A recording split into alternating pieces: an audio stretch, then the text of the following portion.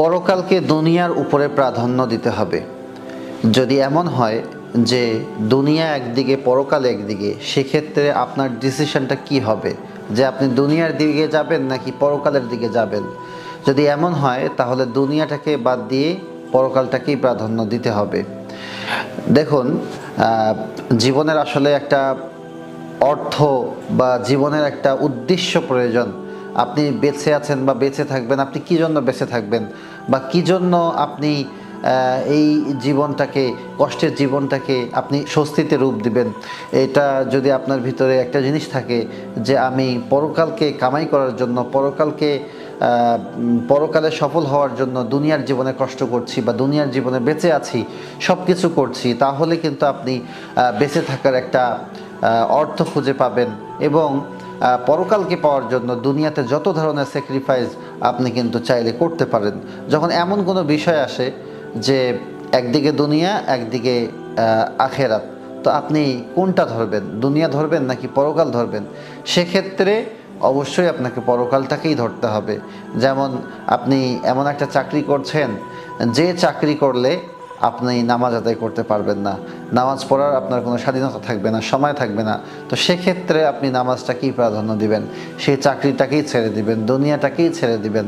তো এমন পরিস্থিতি সবসময় আসে না, কিন্তু যদি আসে, তাহলে আমাদেরকে পরকালটাকেই ধরতে হবে ইনশাআল্লাহ। কারণ হচ্ছে যে আপনি যখন এটা মনে করবেন যে আমি বেঁচেই আছি শুধুমাত্র জান্নাত কামাই করার জন্য, জান্নাতকে অর্জন করার উদ্দেশ্যে আমার দুনিয়ার জীবনের যে কাজ সেটা যে কোনো কাজ হোক না কেন, আমি প্রত্যেকটা কাজ করে আল্লাহকে সন্তুষ্ট করার জন্য এবং জান্নাত অর্জন করার জন্য।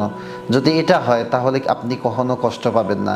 যদি কেউ আপনাকে কষ্ট দেয়, সেক্ষেত্রে আপনি তাকে মাফ করে দিবেন। কারণ আপনি মাফ করে দিলে আপনি আল্লাহ তালার কাছে এর প্রতিদান পাবেন। তো এমনকি আপনাকে যদি চারিদিক থেকে চাপ দেওয়া হয় প্রেশার দেওয়া হয় বা কষ্টে রাখা হয়, তো সেক্ষেত্রে কিন্তু আপনি আপনার ধৈর্যটা হারাবেন না।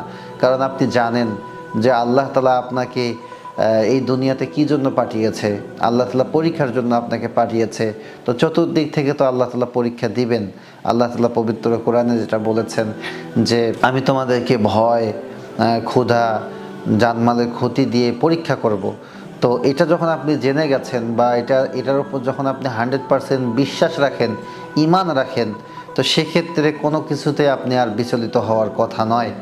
তো এই জন্য সবসময় একটা জিনিস মাথায় রাখবেন যে আসলে যা কিছুই হয়ে যাক না কেন, আমরা যখনই দুনিয়ার জীবনের ওপর আখেরাতের জীবনটাকে প্রাধান্য দিব, তখন দুনিয়ার ফিতনা, দুনিয়ার সমস্যা থেকে আমরা পরিত্রাণ পাবো ইনশাআল্লাহ। এবং মানসিক প্রশান্তির মধ্যে আমরা সবসময় থাকব। আমাদের তখন এমন মনে হবে যে আমার হারানোর কিছু নেই, আমি যা কিছু অর্জন করতে পারি সেটা যে কোনো কিছুর বিনিময়ে হতে পারে। সেটা যদি আমার জীবনের বিনিময়ে হতে পারে, যে আমি আমার জীবনের বিনিময়ে যদি জান্নাত অর্জন করতে পারি, তারপরেও আমার কোনো সমস্যা নেই। তো দুনিয়ার সামান্য ধন সম্পদ, দুনিয়ার সামান্য অর্থকরী সম্মান বা পাওয়ার এগুলো কোনো ব্যাপার নয়। তো এজন্য আমরা যেন পরকালের জীবনটাকেই প্রাধান্য দেই। আল্লাহ যেন আমাদেরকে এই দুনিয়ার ক্ষণস্থায়ী, ক্ষুদ্র জীবনে যেন দুনিয়ার পিছনে ছোটা বা দুনিয়ার লোভ টাকা পয়সার লোভ, ক্ষমতার লোভ অহংকার, এগুলো যেন আমাদের ভিতরে না থাকে। আল্লাহ যেন সব কিছু থেকে আমাদেরকে পবিত্র রাখেন। আল্লাহ আমিন।